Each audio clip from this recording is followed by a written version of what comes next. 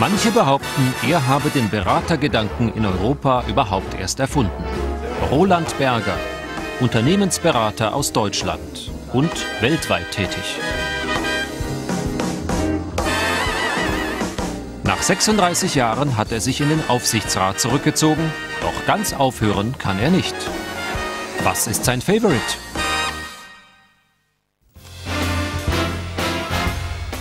Unterwegs in geheimer Mission. Roland Berger. In Berlin trifft er einen Kunden. Wen verrät er nicht, aber was sein Favorite ist, schon. Dieser Aktenkoffer. Er ist seit über drei Jahren Bergers ständiger Begleiter. Ohne ihn fehlt ihm was, vor allem das, was drin ist. Roland Berger öffnet für uns sein Allerheiligstes und lässt tief blicken.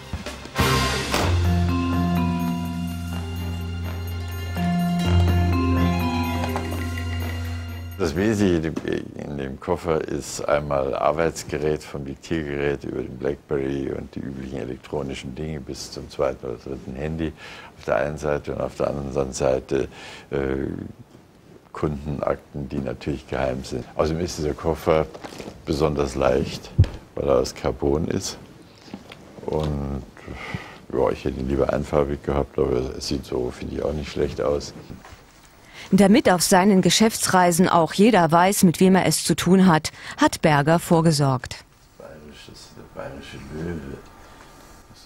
Meine Ansteckkarten, die, ich, die mich an das eine oder andere erinnern, aber die ich auch wieder brauchen kann. Denn wenn ich irgendwo auftrete und kriege keine, dann, äh, dann habe ich halt meine eigene dabei und dann äh, brauche ich nicht lange warten, bis man mich sozusagen identifizierbar macht. Das sind meine ganzen Kreditkarten und die diversen Hon-Karten der diversen Airlines, die man so hat. Ja, die Stifte, die verwirren besonders immer die Sicherheitskontrollen am Flughafen. Ich sage immer, ich sei Kugelschreibervertreter, dann habe ich kein Problem mehr. Und warum verwirren die?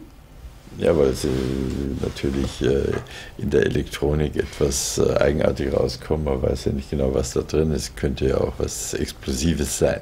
Wo waren Sie denn schon überall mit dem Koffer? Also eigentlich überall auf der Welt, außer in Australien.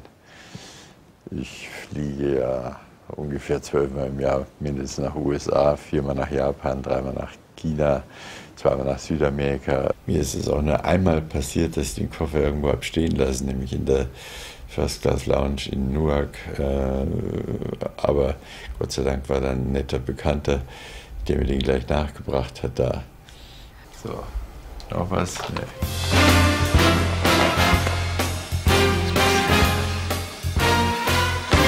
Berger eilt zum Kunden. Welcher millionenschwere Auftrag auch wartet, im Grunde kann nichts schiefgehen. Der Berater hat das Wichtigste dabei, sein Favorite.